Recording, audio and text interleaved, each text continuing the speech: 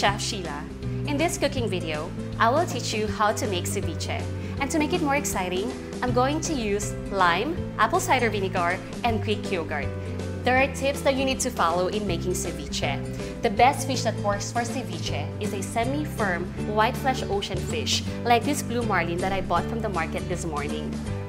It's also important to ask your fishmonger to give you great sushi fish quality. Even though you will cook this in lemon or vinegar, it's still best to use great quality ingredients. So when you get your fish home from the market, put it over ice and store it in the fridge until you're ready to use it. It keeps the fish fresh and you're gonna have a better tasting ceviche when you serve it. Also, make the ceviche the same day you buy the fish. Don't forget to remove the bloodline of the fish as it will give you unpleasant taste and really fishy flavor. One more important tip, cut the fish into large and even chunks so they marinate evenly. So I finished cutting our blue marlin. Instead of using cane vinegar, I'm going to use unfiltered and not pasteurized apple cider vinegar. I love apple cider vinegar because it has a mild flavor and the acid level is not that strong. This is best used for both health and cooking purposes. Let's start marinating our blue marlin. I'm using about half cup of apple cider vinegar.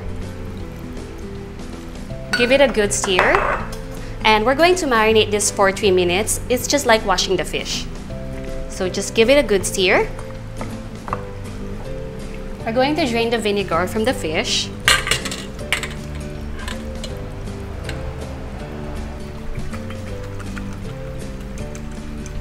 Using another clean bowl, I'm gonna put back the fish. So I'm adding the remaining vinegar. Just give it a good stir again. And we're going to marinate our ceviche for 7 to 10 minutes. While waiting for the blue marlin, let's work with our remaining ingredients. I have Greek yogurt here, lime zest, juice of lime, chopped garlic, sliced red onions.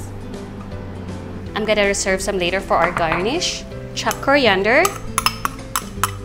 and ginger. Lots of ginger. Ginger is the key ingredient of ceviche. And sliced red chili. I just put two pieces of red chili. If you want it spicier, you could add more. So give it a good stir.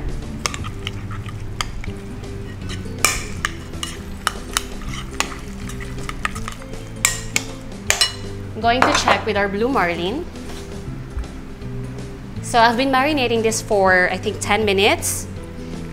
As you can see, it turns an opaque color and the blue marlin is ready. So let's drain the vinegar again from the fish.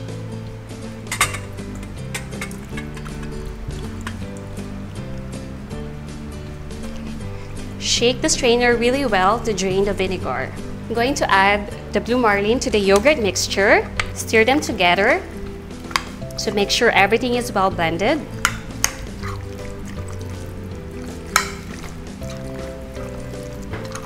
Season it really well with salt. Stir it really well. Just continue stirring. Season it one more time to make sure the salt is evenly spread. Freshly ground black pepper.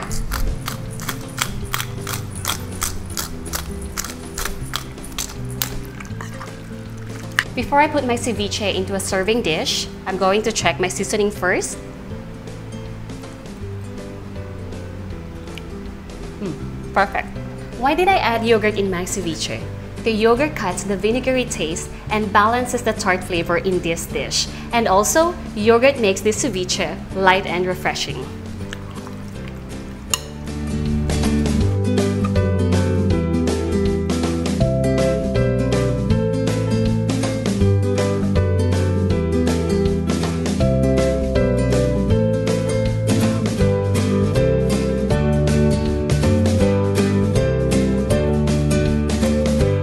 Is our lovely blue marlin ceviche.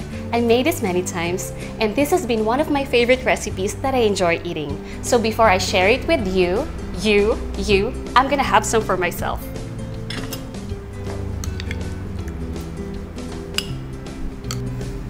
Mmm, the flavors are so fresh, clean, and refreshing.